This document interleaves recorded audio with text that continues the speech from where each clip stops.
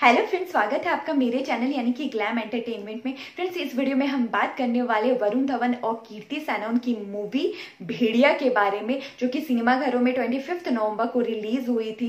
पर sorry to say friends movie को उतना अच्छा रिस्पॉन्स नहीं मिला जिस हिसाब से मूवी से उम्मीद लगाई जा रही थी, क्योंकि इसके टीजर ट्रेलर को पसंद किया गया था पर मूवी को उतना आउटस्टैंडिंग उतना अच्छा रिस्पॉन्स नहीं मिला मूवी को।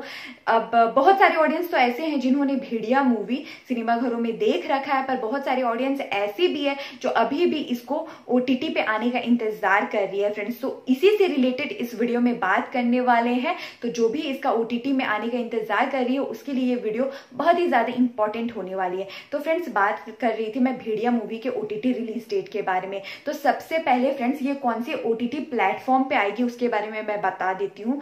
ये जियो सिनेमा पे आने वाली है फ्रेंड्स जियो सिनेमा ने इस मूवी के ओटीटी राइट्स को खरीद लिया है मीडिया रिपोर्ट्स की माने तो। और उम्मीद है जैसे कि normally eight weeks means two months का तो ये कॉन्ट्रैक्ट होता ही है ओटीटी और सिनेमा घर वालों में। सिनेमा में लगने के बाद थिएटर्स में लगने के बाद लगभग दो महीने के बाद ही ओटीटी में रिलीज़ होती है। किसी को कम टाइम लगता है किसी को ज़्यादा टाइम लगता है।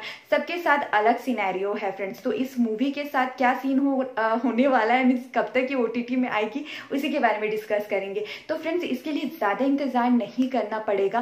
पहले तो एट वीक सुन रहे थे कि एट वीक तक ये एट वीक के बाद ये मूवी ओ टी प्लेटफॉर्म पे आएगी तो जिसका मतलब होता कि जनवरी लास्ट वीक नहीं तो स्टार्टिंग फेबररी में आती। पर अब आ, सुनने को ये मिल रहा है कि सिक्स वीक में ही इस मूवी को रिलीज़ कर दिया जाएगा। सिक्स वीक के बाद फ्रेंड्स यानी कि बहुत हाई चांसेस है कि मकर संक्रांति के टाइम उसके आसपास फ्रेंड्स इस मूवी को ओटीटी पे रिलीज़ कर दिया जाएगा। तो जिन्होंने अभी तक इस मूवी को नहीं देखा हुआ है, उनके लिए बहुत बड़ी गुड न्यूज़ है। और जिन्होंने देखा हुआ है, उनके लिए भी गुड न्यूज़ है। अगर वो दोबारा ओटीटी में देखना चाहते हैं तो फ्रेंड्स तो फ़िलहाल के लिए इतना ही। आपको भेड़िया मूवी कैसी लगी? अभी तक आपने देखा कि इसका ओटीटी पे आने का इंतज़ार करे जो भी आपके मन में हो कॉमेंट के थ्रू ज़रूर शेयर करें फ्रेंड्स और फ़िलहाल के लिए इतना ही।